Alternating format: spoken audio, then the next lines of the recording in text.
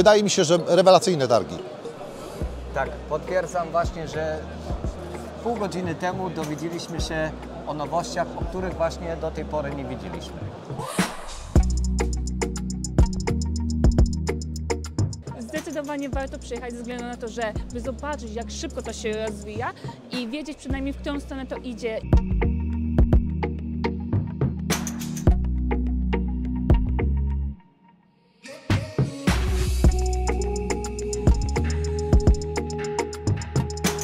Oczywiście, że warto przyjechać. No, jest naprawdę ogrom tego wszystkiego, jest moc. Każdy na pewno czego szuka dla siebie, znajdzie tutaj e, wystawców, znajdzie produkty, więc e, jest czym wybierać naprawdę.